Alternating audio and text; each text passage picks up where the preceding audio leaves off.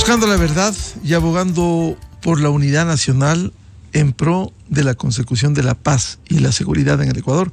Queremos dar la bienvenida en estudios a la doctora Daniela Camacho. Ella es jueza nacional y quien aspira a la presidencia de la Corte Nacional de Justicia. Con una premisa, cuando entrevistamos hace dos días al presidente de la Corte Nacional de Justicia, doctor Iván Saquicela, le dijimos lo que voy a repetir hoy. La imagen de la justicia no puede empañarse por disputas con el mayor derecho que tienen todos los señores jueces nacionales. Una imagen que no genera, que no genera un hecho positivo al país. La Corte Nacional de Justicia es la máxima expresión de la justicia ecuatoriana eh, y también quien tiene grandes atribuciones, como por ejemplo enviar la terna para que presiden el actual esquema del país. Recordemos la consulta popular de mayo del 2011 que cambió las reglas y que existe hoy un Consejo Nacional de la Judicatura, precisamente que ha sido cuestionado durante los últimos tiempos por las acciones al menos de dos de sus vocales que están en la cárcel, cuatro de Quito. Esa decía esas atribuciones que son tan importantes como el resolver una terna para que sea el Consejo de Participación Ciudadana el que escoja y de acuerdo con la norma preside el órgano administrativo y disciplinario. Doctora Daniela Camacho, más allá del legítimo interés y aspiración que puedan tener todos los señores jueces nacionales, no se está viendo bien hacia afuera. Y esta es una crítica constructiva. No se está viendo bien el que por disputas pudiera haber un vacío de alguien que es importante, quien preside la Corte Nacional, que tiene también atribuciones, por ejemplo, hoy, en un proceso que debe implementarse el, tema de, o de extradiciones o el tema de la aprobación de em, instructivos para la repatriación de presos extranjeros en el Ecuador hacia países vecinos en los que esté empeñado el gobierno. Muy buen día, doctora Daniela Camacho. Buenos días, Miguel. Eh, no se está viendo bien esa imagen de disputa por la presidencia de la Corte Nacional, en la que usted también, con el legítimo derecho que tiene, aspira a ello. Puede ser que no se vea bien el tener la legítima expectativa de presidir la Corte, que lo tienen todos los jueces titulares, pero tampoco se ve bien el querer permanecer en el cargo cuando no tiene la voluntad de todos sus compañeros. Bueno, eh, se refiere al doctor Saquicela. Así es. El doctor Saquicela recibió nueve votos de los quince. Por cierto, la norma dice doce votos que no los hay. Usted recibió inicialmente tres votos. Así es, el doctor Swing y mi persona recibimos tres, tres, por lo que al empatarse el segundo lugar, perdón, hay norma expresa que se vota por el para desempatar el segundo lugar. Ahí quedé con seis votos, el doctor Saxela tiene nueve votos, pero debemos tener en cuenta que de esos nueve votos, cuatro cesarán en funciones del día viernes. Ese fue el motivo por el que el Pleno decidió anticipar elecciones y que hubo votos en contra, porque considerábamos que es legal es legal el derecho a elegir y ser elegido. Pero son cuatro votos que se van, son cuatro compañeros que van a elegir un presidente que no va a ser eh, de un organismo al que ya no van a pertenecer. ¿Y qué sucede en el escenario? Porque este es un escenario legal que se prorroguen en funciones cuando el artículo 133 del Código Orgánico Integral Penal que dice lo siguiente, prórroga en funciones, las juezas y jueces, las conjuezas y conjueces, aunque hubiesen cesado en el puesto, continuarán desempeñándolo hasta ser legalmente reemplazados, salvo los casos expresamente en la ley. El Consejo de la Judicatura está empeñado, resolvió este lunes nombrar con jueces temporales, pero esto les va a tomar de lo que averiguamos ayer en el Consejo de la Judicatura, por lo menos 15 días. ¿Y qué decir del proceso que debió estar listo en ese cuestionado Consejo de la Judicatura de los nuevos jueces nacionales. Pero por circunstancias diferentes no hubo cómo. Pero esto va a demorar. Pudiera haber un vacío. Y el, Código Orgánico de la Función Judicial ordena que los jueces no pueden abandonar así nomás. Eso es para funciones jurisdiccionales en periodos indefinidos. Un juez de tribunales, un juez de mm, garantías penales que decide acogerse a la jubilación, por ejemplo, no puede abandonar su cargo hasta ser legalmente reemplazado. Por eso ha existido el caso de jueces que han estado esperando seis, siete años la jubilación, que han muerto en su trabajo. Ese no es el caso de la Corte Nacional que tiene su propio sistema. El artículo 200 del Código Orgánico de la Función Judicial señala que a falta temporal o definitiva del juez le reemplazará el conjuez. Esa es la primera función del conjuez. Existen conjueces titulares y el Consejo de la Judicatura ha resuelto no darles prórroga a los jueces. Así lo declaró el doctor Álvaro Román.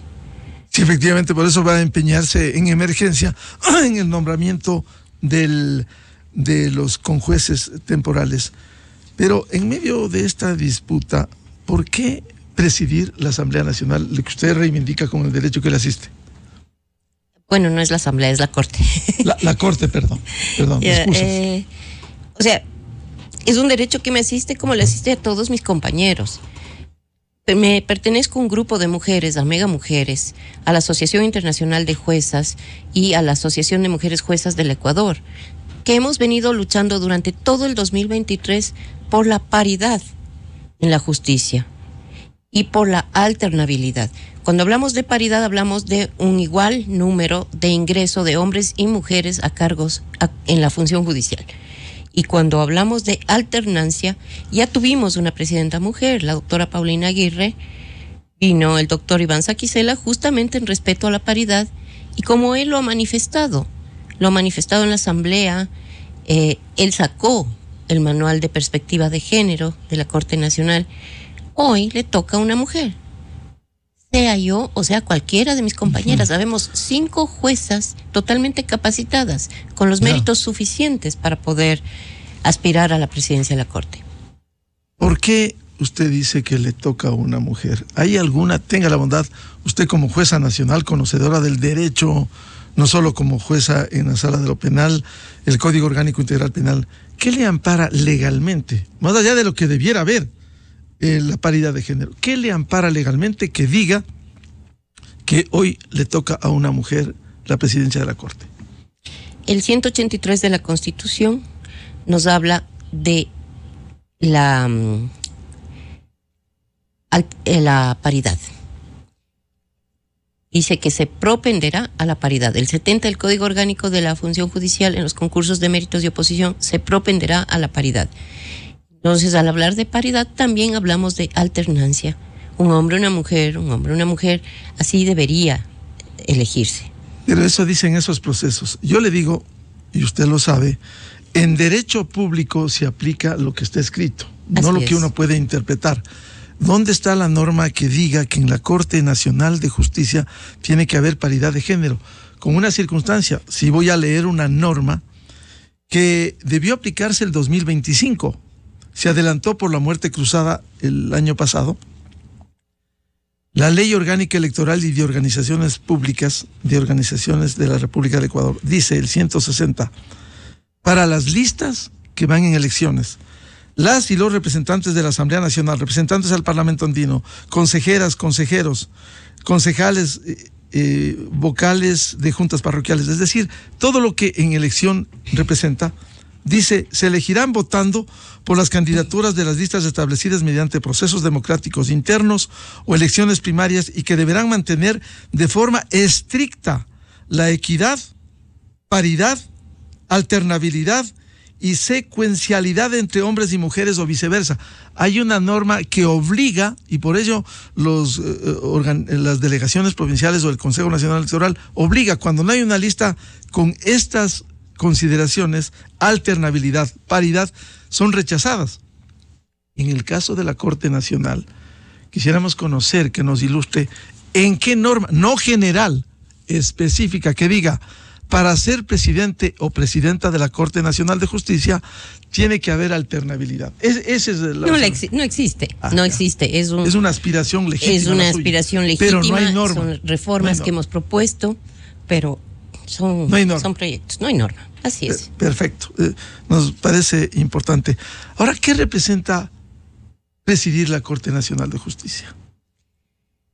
Presidir la Corte implica, a ver, el presidente de la Corte no es el representante legal, representa a la función judicial en todo aquello protocolar, eh, tiene a su cargo los procesos de extradición, preside el Pleno y sus funciones específicas están en el 199 del Código Orgánico de la Función Judicial. Presidir la Corte significa, en mi caso, una lucha contra la corrupción. Esa es mi bandera. Quiero que haya capacitación para jueces, con jueces y personal administrativo respecto a lo que en este rato estamos en un narcoestado. Estamos cooptados, seamos honestos. Entonces, primero tenemos que capacitarnos, porque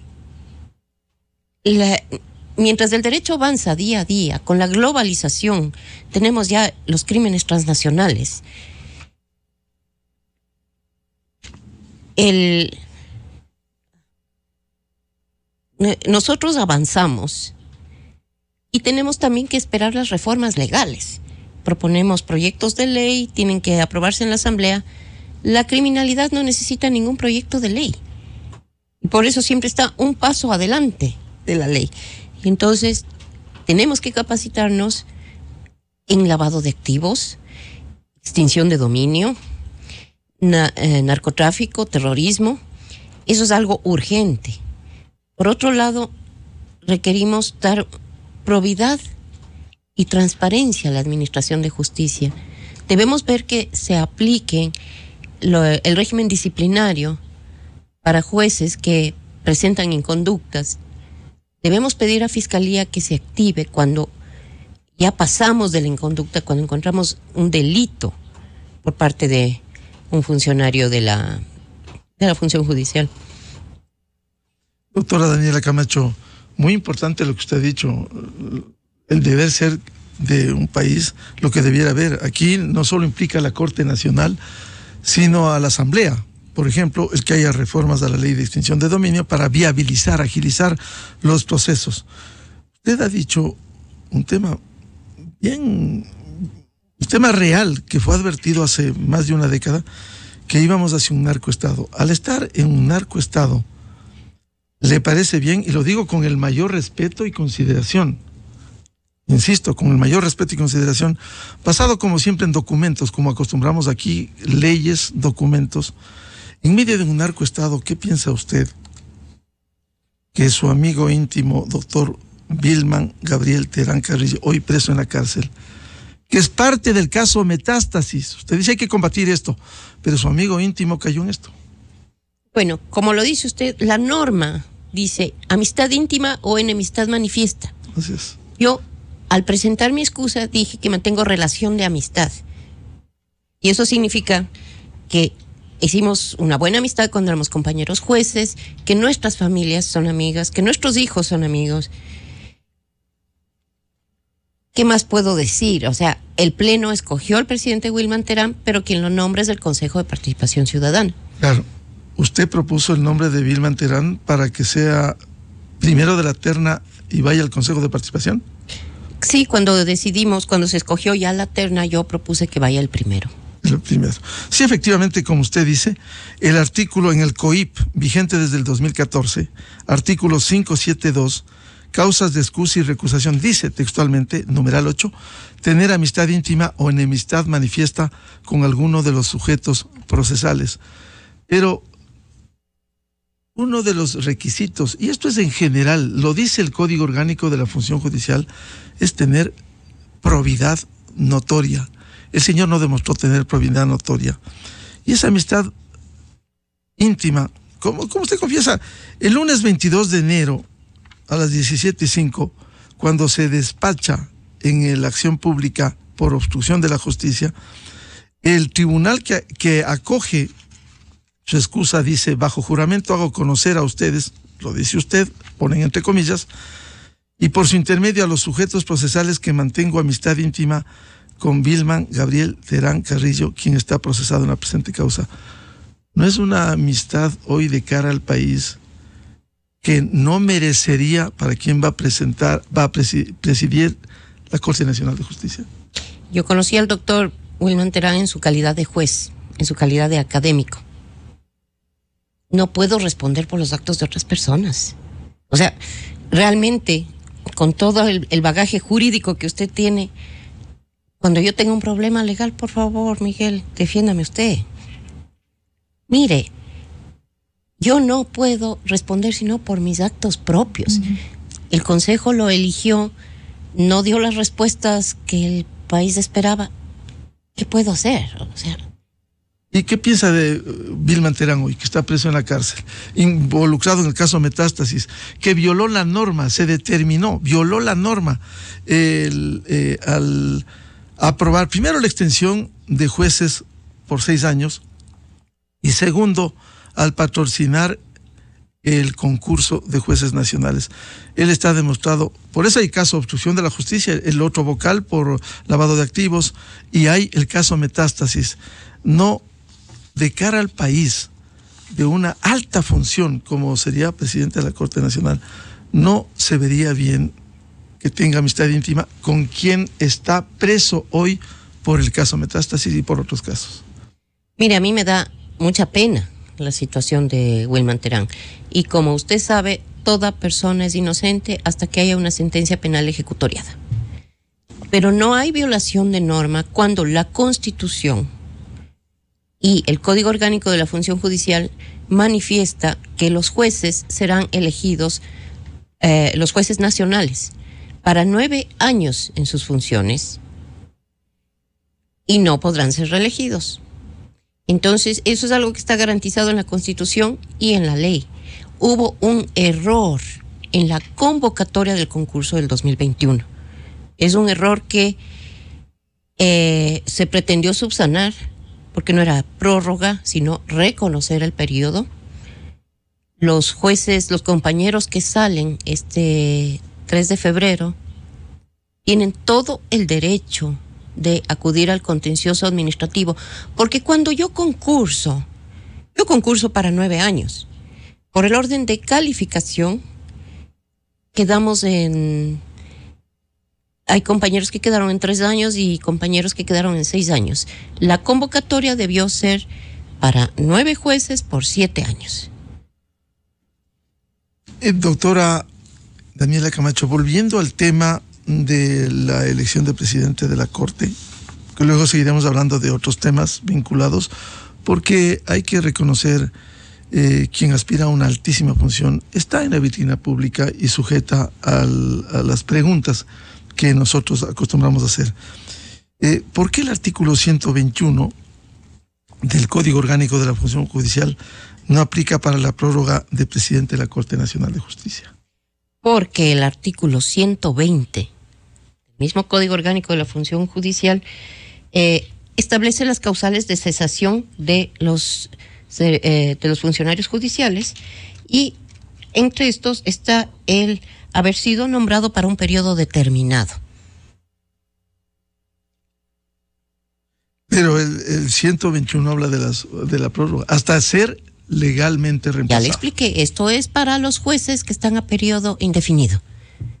Dice la servidora o servidor. ¿Usted es servidora o servidor de la justicia? Por supuesto. Por tanto, el 121 dice la servidora o el servidor de la función judicial que hubiese cesado en el puesto desempeñará funciones prorrogadas hasta ser legalmente reemplazado. Pero yo soy juez de Corte Nacional. Yo concluyo mis funciones el 26 de enero del 2027 y el 27 de enero tengo que estar eh, reemplazada por un conjuez y si no es reemplazada en enero del 2027, usted tendrá que extenderse. Estaría en relación de funciones, porque mi nombramiento es a periodo fijo. Claro. Ahora, el, sobre la prórroga de jueces de Corte Nacional que terminan este 3 de febrero, ¿en qué parte de la ley indica que se los deceptúa de la prórroga del artículo 133 del Código Orgánico de la Función Judicial si todas las cesaciones son inmediatas, incluso las de periodo de la Corte Nacional como se invoca? porque de acuerdo al 120 son nombrados a periodo fijo. El Consejo de la Judicatura es quien define licencias, prórrogas, eh, destituciones. Ese es su trabajo y ya les ha comunicado que no va a haber prórroga. Y el 120 nos habla cuando se cesen funciones, en periodo fijo, al cumplir el periodo. ¿Y cuál es la norma? Usted ha, reivindicado la paridad de género que, como usted ha reconocido también, no hay, no hay norma que ampare esa norma legal. El, otro tema, ¿cuál es la norma que facultaría el... perdón, la paridad de género sí hay norma que la garantice, eh, que se propenda. Lo que, no es, lo que no hay norma es la alternabilidad. Ya, pero no hay norma que diga en la presidencia de la Corte Nacional de Justicia debe ocurrir así, como si obliguen las listas, como dicen las listas para elecciones generales, o nacionales o locales. Hay norma expresa. Aquí no hay norma expresa para la presidencia de la Corte. Ya lo dijimos, así de, es. De la Corte Nacional de Justicia. Ahora, el, le decía, en el caso del, de los jueces,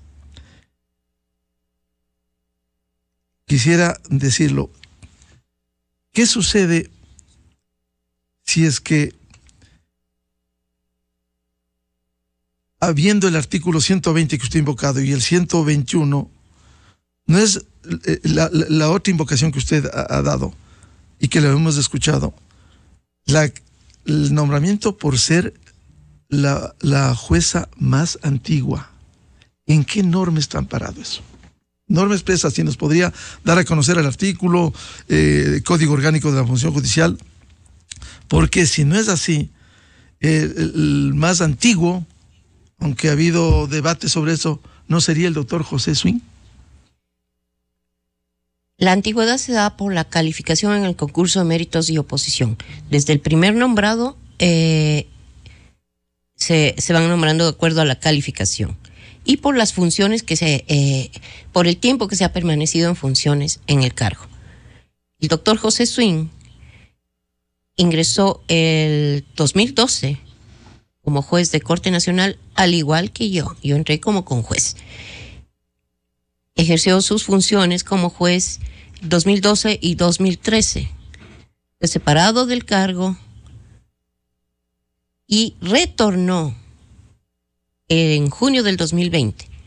Entonces tenemos junio 2021, junio 2022, junio 2023, le daría cinco años. A enero 2024 tenemos cinco años y medio. Yo estoy en funciones como juez nacional desde enero 2026 a enero 2000, perdón, de enero 2018 a enero 2023, seis años como juez. Doctora Daniela Camacho, usted invocó también el artículo 200 del Código Orgánico de la Función Judicial. Dice el Consejo de la Judicatura, eh, en coordinación con el presidente de la Corte Nacional de Justicia, determinará el número de conjuezas y conjueces que sean necesarios para la Corte Nacional de Justicia y la sala especializada, a la cual serán asignados eh, procesos y tendrán las mismas responsabilidades y régimen de incompatibilidades que las juezas y jueces tienen. Desempeñarán sus funciones a tiempo completo y con dedicación exclusiva. Yo quiero conectar a un apunte que hacía. Este artículo 200 del Código Orgánico de la Función Judicial, que habla de los conjueces, suplen a los jueces, que usted invocó, pero ¿en qué parte de este artículo que no encuentro, por eso lo leí, dice que pueden suplir a un juez que termina el periodo, como es el caso del el juez eh, Rivera, como son los casos Rivera, Macías, Racines y el juez eh, y el juez eh, y el juez Guillén. Termina el periodo, pero la corte no puede quedar sin jueces. Ah, no podemos este detener la administración. En este caso sí no puede quedarse sin jueces. En, el caso de la prórroga del artículo 121 sí puede quedarse sin jueces porque le decía, va a tomar por lo menos 15 días de esta emergencia para nombrarlos con jueces temporales en el Consejo de la Judicatura. En este caso, no puede quedarse sin jueces. El Consejo de la Judicatura es el que tiene que solucionar eso, no nosotros.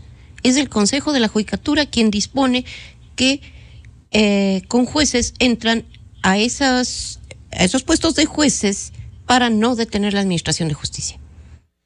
El, ahora quiero volver, porque es importante, decía la imagen del presidente o presidente de la Corte Nacional de Justicia. Usted ha explicado por qué hizo amistad con el doctor Vilman Terán, hoy preso en la cárcel. Hay otro amigo íntimo que usted, y debo reconocer por los documentos, por las, su posición asumida, en el caso Las Torres, en donde fue, fueron sentenciados, el ex eh, subcontralor y contralor encargado, eh, Pablo Celi, y otros, usted se excusó de esto, no fue aceptado inicialmente, luego tuvo la fiscal general, miércoles 2 de marzo del 2022, a las 17 horas con, 7 minutos, ella le recusa a usted en el caso Las Torres.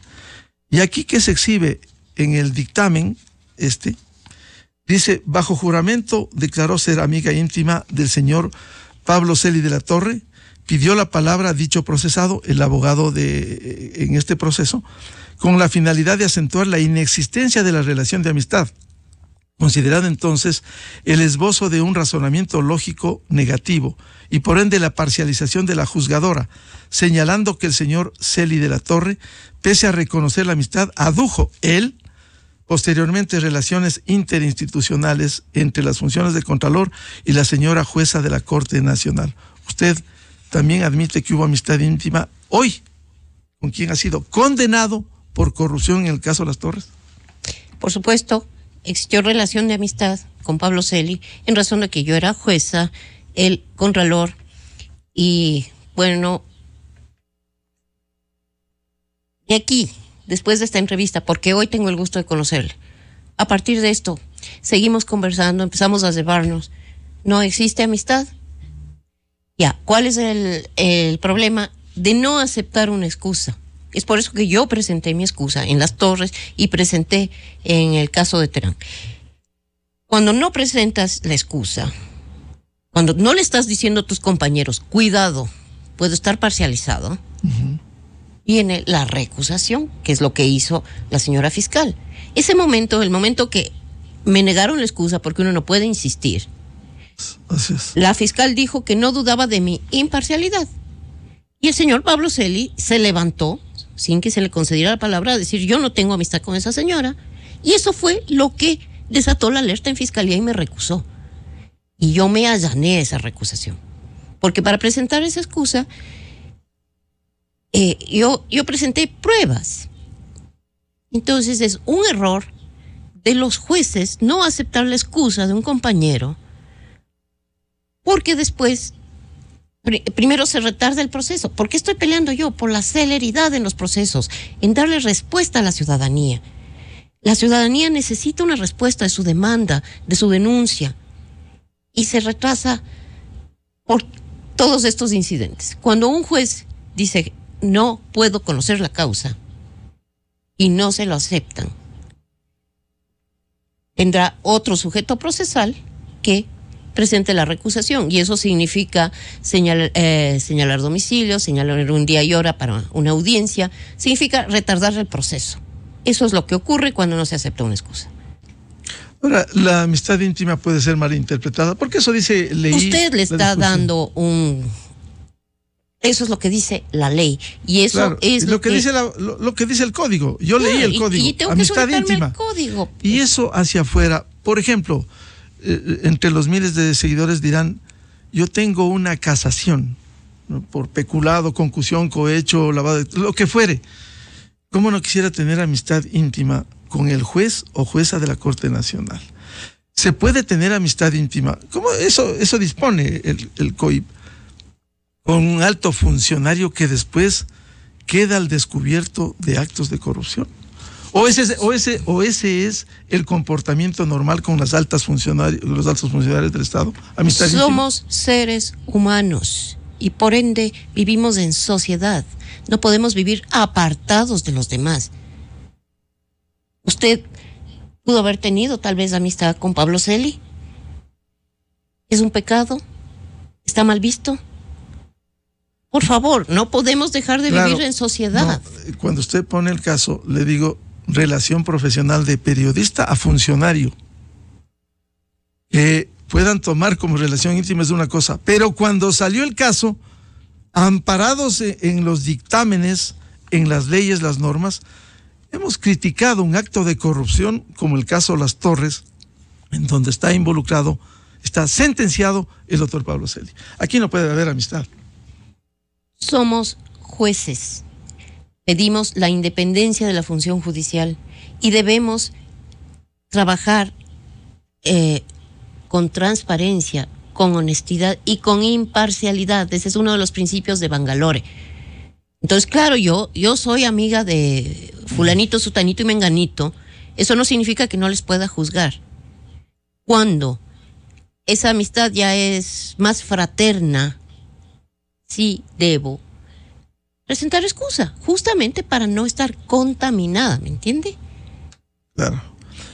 Es que la amistad debiera ser por funciones de trabajo, funciones públicas, y no una amistad fraterna como con el doctor Terán o con el doctor eh, Pablo Celi, que fue condenado por corrupción. ¿Y qué quiere que diga? No les conozco, no es cierto. Claro, pero usted se siente, no se siente arrepentida de haber tenido amistad con al menos estos dos personajes, casuística. Todo el mundo tenemos amigos que nos decepcionan, ¿no? Eso le ocurre a cualquiera, no solo a un juez. ¿Le decepcionó Terán y Pablo Celi? Pues sí. Sí, le han decepcionado. Sí.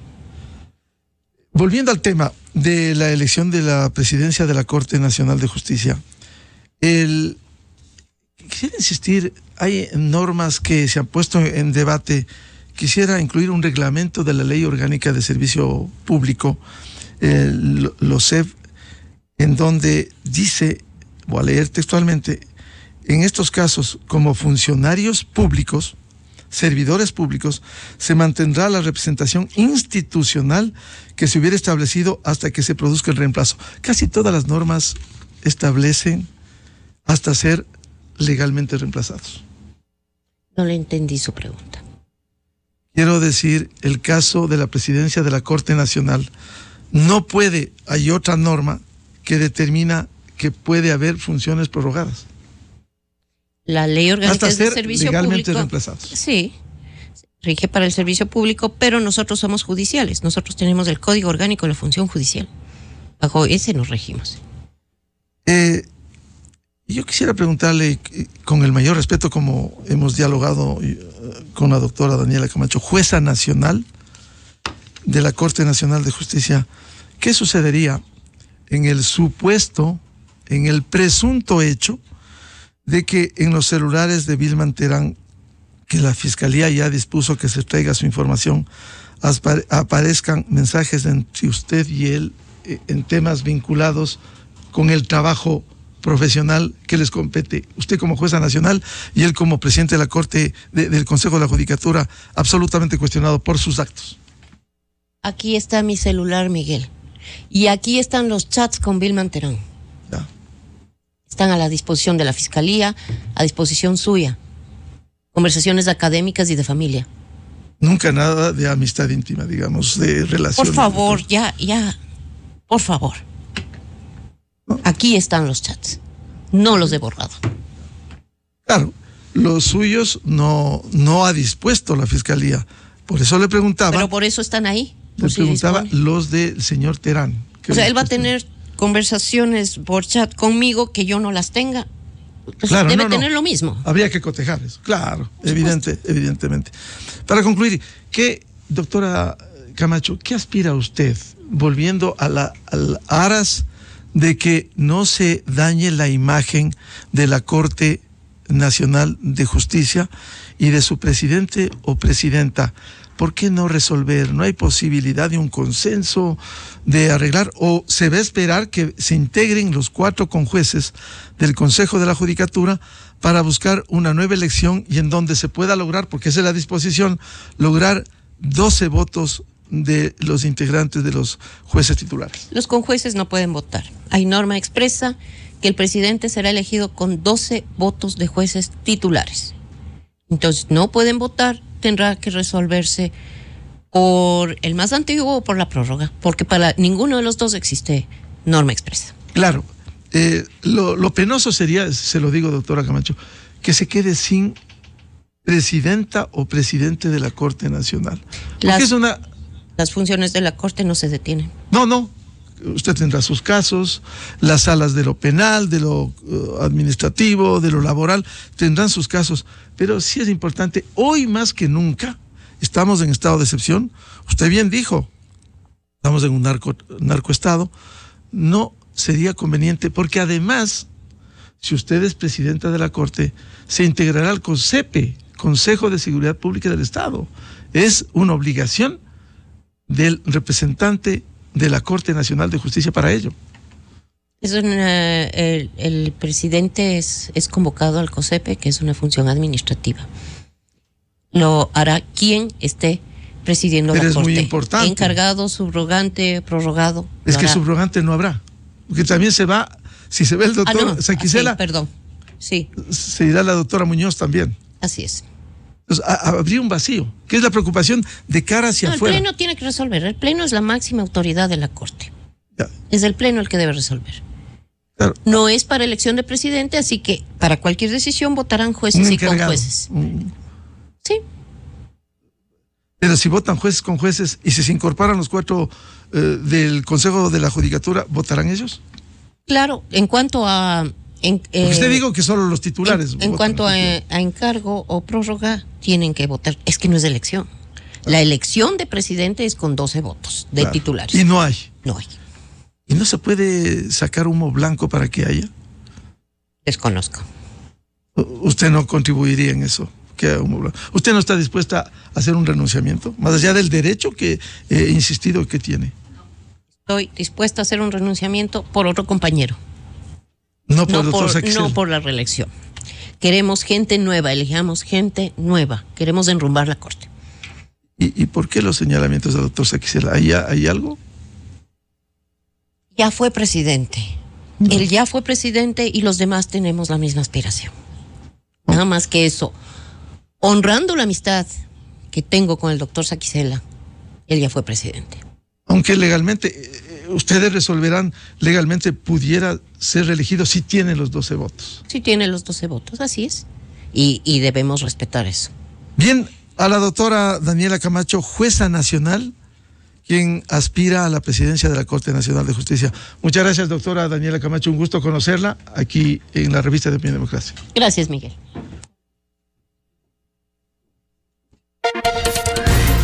Desde 1984 con Gonzalo Rosero. La revista de opinión Democracia. Siempre líderes, siempre confiables. Enseguida regresa Miguel Rivadeneira a la búsqueda de la verdad.